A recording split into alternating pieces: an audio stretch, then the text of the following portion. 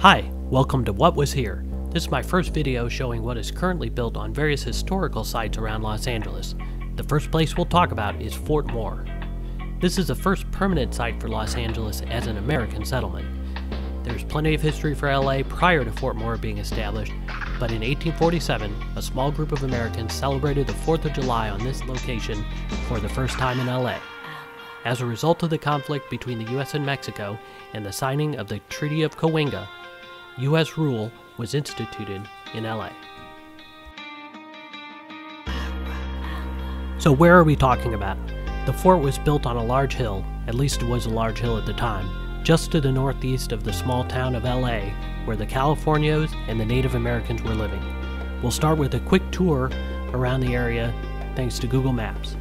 The site of Fort Moore is in the middle, Dodger Stadium is just to the north, Silver Lake and Griffith Park are out to the northwest.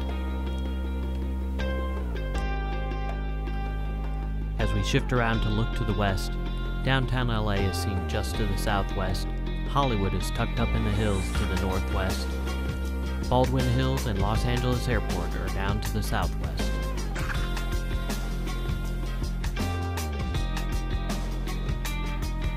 Flying a little further counterclockwise to look south, City Hall is one of the older landmarks in downtown.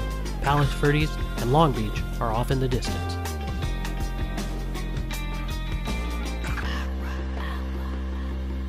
And on the site where Fort Moore once stood is the Ramon C. Cortines School of Visual and Performing Arts.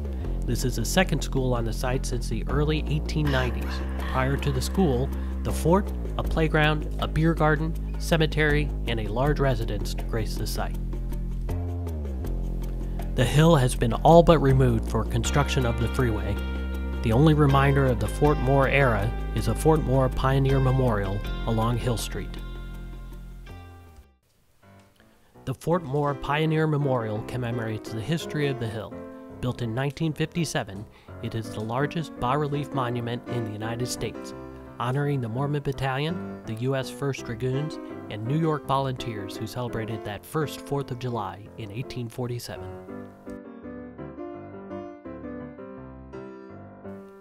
Inscribed on the memorial, on this site stood Fort Moore, built by the Mormon Battalion during the war with Mexico. This memorial honors the troops who helped to win the Southwest. The flag of the United States was raised here on July 4, 1847 by U.S. troops at the first Independence Day celebration in Los Angeles. The U.S. 1st Dragoons who fought at San Pasqual, the New York Volunteers who came by sea, and the Mormon Battalion, which made one of the longest and most arduous infantry marches in history. On ranchos where herds of cattle ranged, pioneers built homes and planted vineyards and orange groves. The Prairie Schooner Stage and Iron Horse brought many settlers who made Los Angeles a city.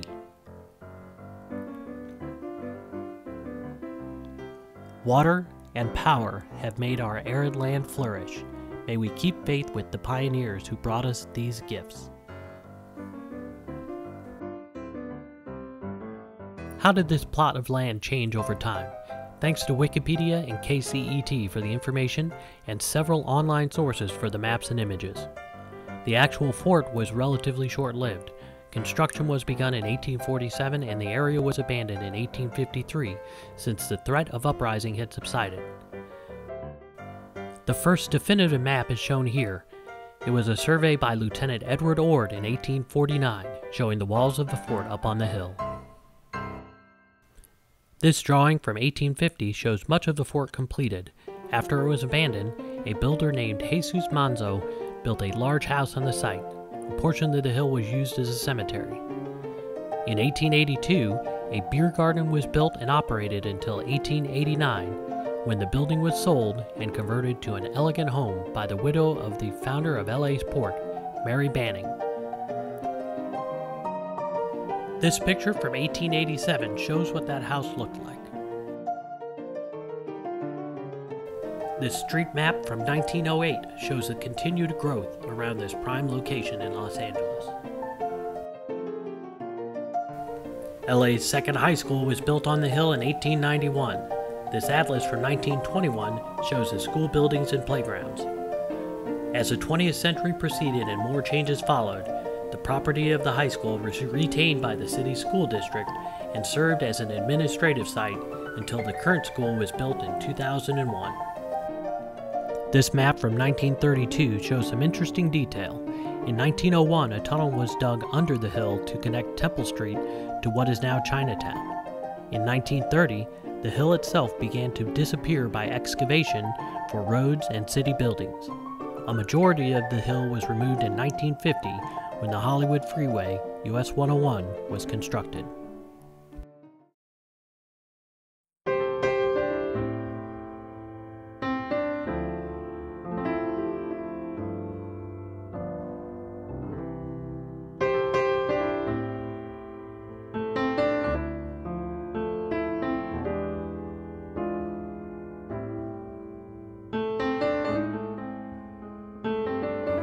Today, the School of Visual and Performing Arts is a striking structure along US 101 in downtown LA.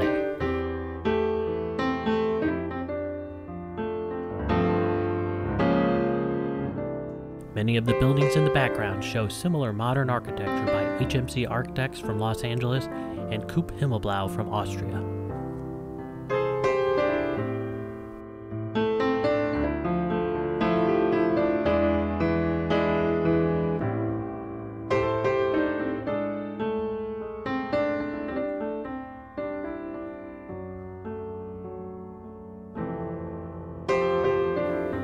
Thanks for watching, and I hope you enjoyed this video about the origin of the American city of Los Angeles. Check out my YouTube channel for more videos.